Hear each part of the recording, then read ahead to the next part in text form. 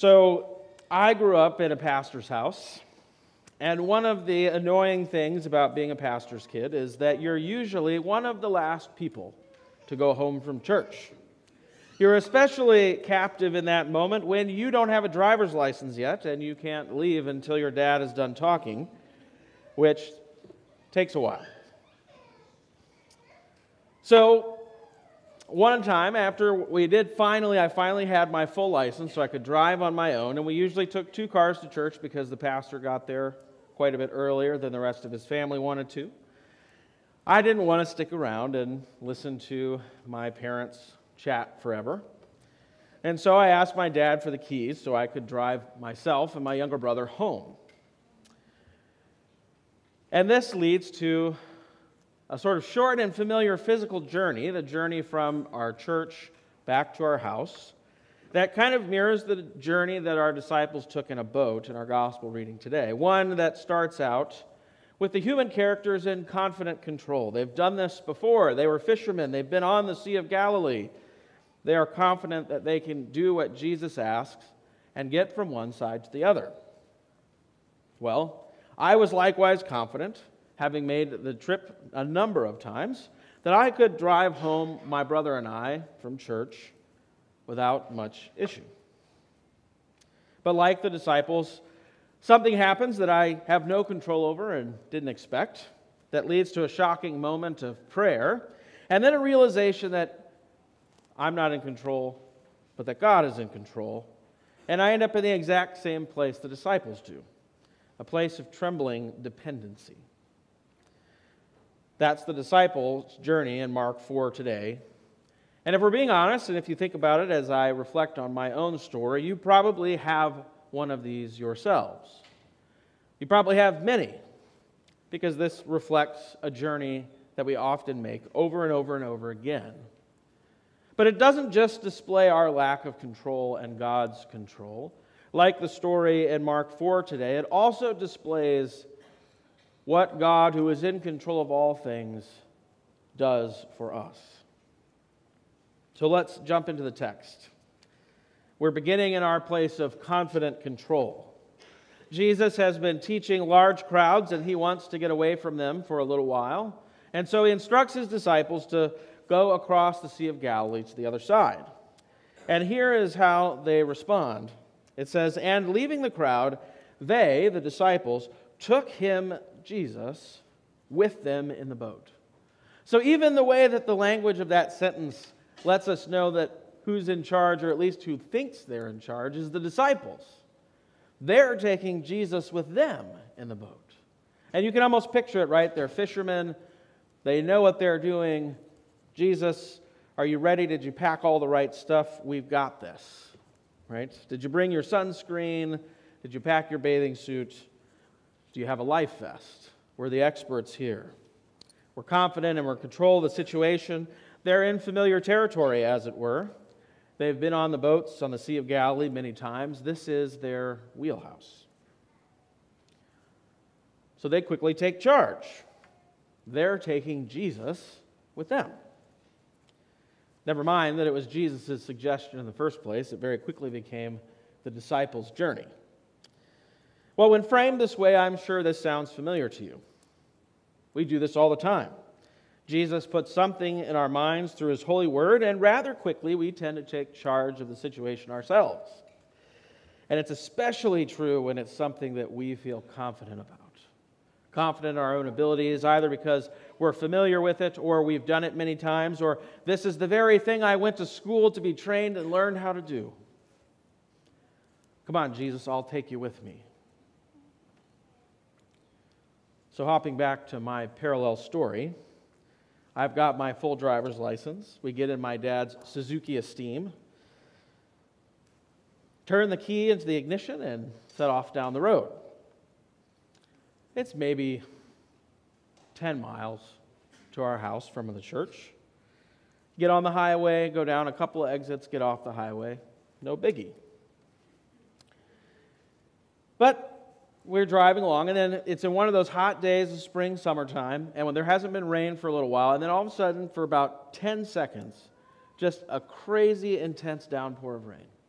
enough to get all the oils from the road up to the surface, but not enough to wash them out off of the road. And so I'm driving along as a teenage boy would, and I shifted over into the left lane because I'm going to pass the slowpoke in front of me. And I look up and I see a bunch of red taillights. And not only that, but people weaving in and out of lanes to avoid rear ending each other. And I'm still maybe about 200 yards away from the semi truck that is in front of me in this lane. And so I slam on the brakes. This is, car did not have anti lock brakes. So the brakes lock up and we begin to slide. And this was on the highway where the speed limit was 70 miles an hour. And I maybe was going a little bit more than that. Pause, we'll come back to that. So, what happens in the next few verses of our gospel reading shows the very same thing happening to the disciples. They've set out in confidence in their ability to navigate the sea, and yet they run into a situation that destroys the illusion of control they have, a reality that they can't deal with. Pretty quickly after the boat sets out, the text says that a windstorm arises and waves are crashing into the boat so much so that the boat itself is starting to fill with water. Now, if you've ever been on a boat in the midst of something like this, it truly is frightening. It truly is. Or if you've been on a horse or any sort of where you're on a vehicle that isn't going to do what you say it should just because you say so. And then that moment of the loss of control comes and you become very afraid. Well, despite the disciples' familiarity, expertise, and experience as fishermen, the storm is too much for them.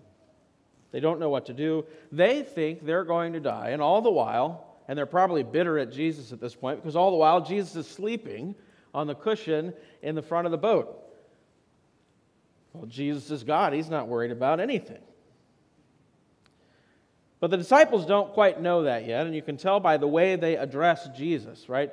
So their confidence gives place to shock, a bit of despair, and then they cry out, and this is the one thing they do correctly they cry out to Jesus this prayer. Not the holiest of prayers.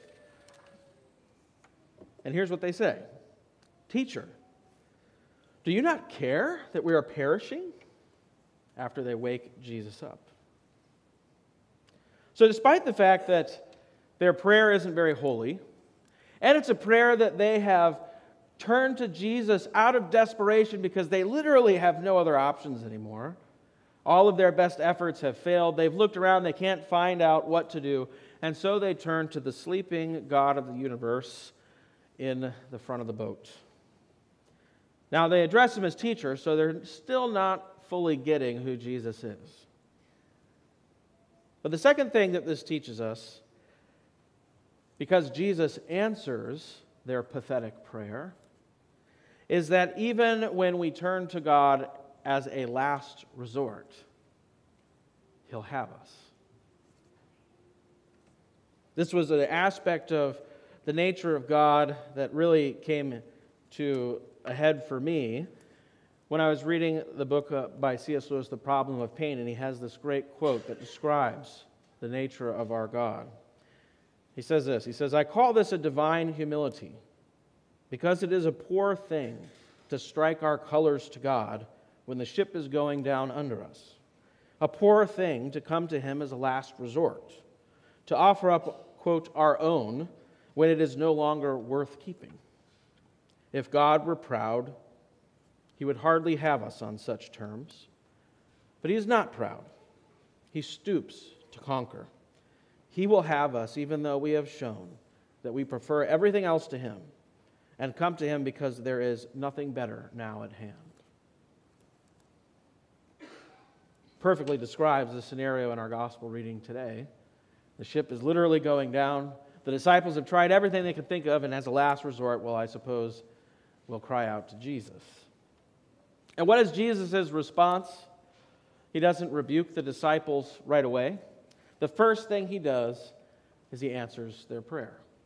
He stands up and speaks, Peace Be still. And his first words aren't directed at the disciples to calm their worried hearts. Instead, he is speaking to the wind and the sea. And they listen. They cease. They stop. Then he does offer a small rebuke to his disciples, but only after he has dealt with the thing that threatens them. And if we can think throughout our lives, he's done very similar things for us. Now I'll hop back to my parallel journey. I've just switched into the left lane to pass the slowpoke in front of me. I see all the red brake lights and people weaving in and out of roads. I found out afterwards that what had happened is a truck had flipped over and slid off the road in front of a, a pretty decent amount of traffic, and so everybody started slamming on their brakes and swerving.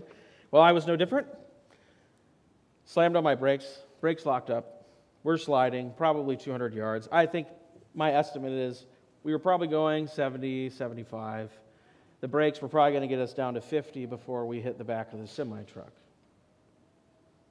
The next part of the story I have zero recollection of. I don't remember how I maneuvered between lanes and avoided hitting vehicles. Somehow I did.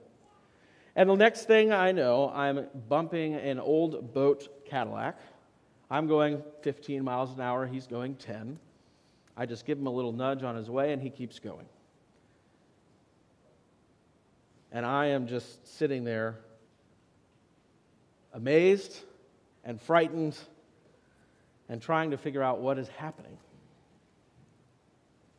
All my confident control gone.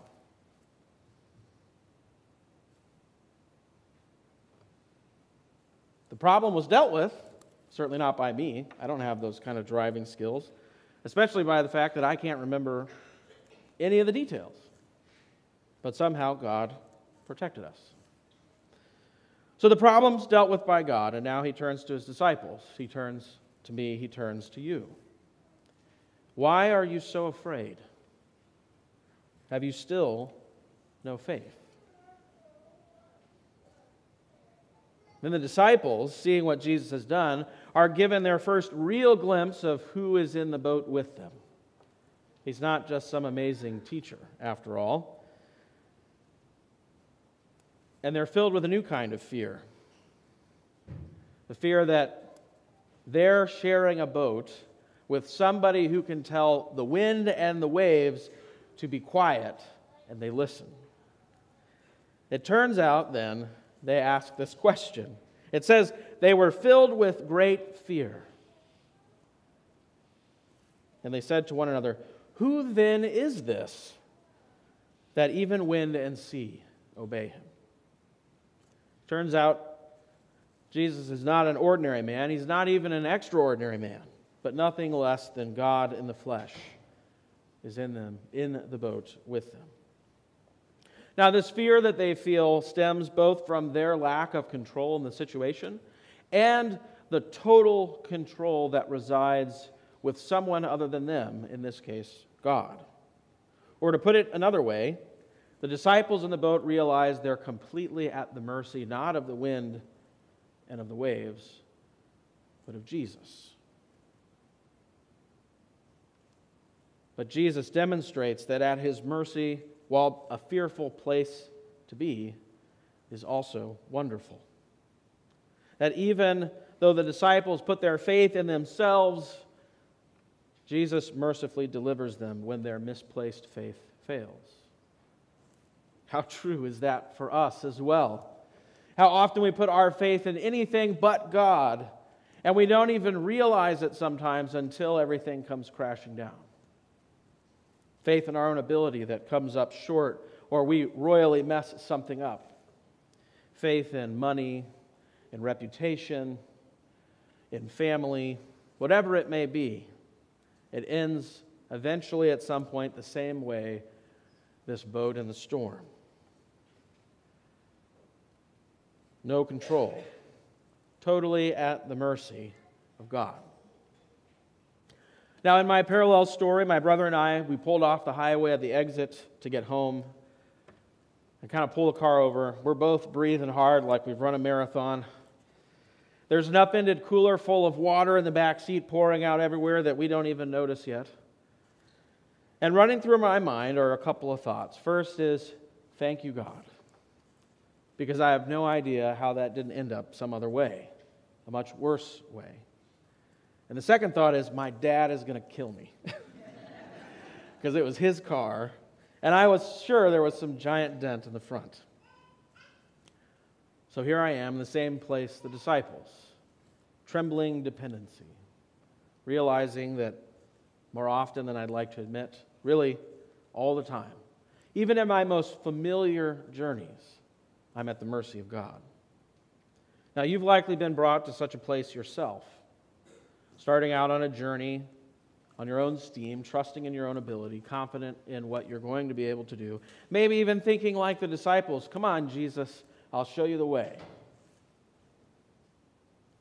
Only to face the harsh truth that you're not in control.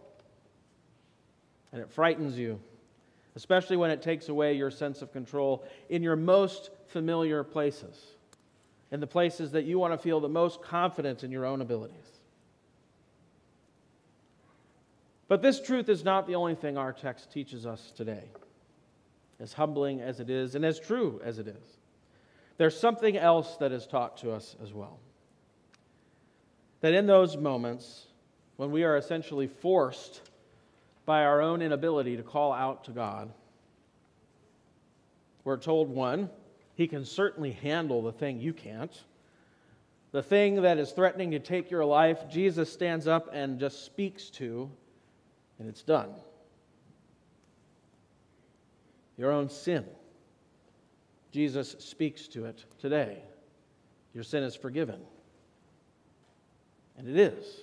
It must be because of the person saying it. You are mine. You must be because of the person saying it. Which leads to the second amazing thing taught in our text for today. It's not that God is an all powerful being who can command even the wind and the sea, which is certainly true, but that He uses all of that might and power to save the creatures who are totally at His mercy. Because He is a God of mercy. All that power, all that control is being turned toward one goal in Jesus the salvation of all who call upon his name. The salvation of his disciples in the boat, of me and my brother in that car, and you on whatever journey it is where your sense of control has been taken away and in turn given to God.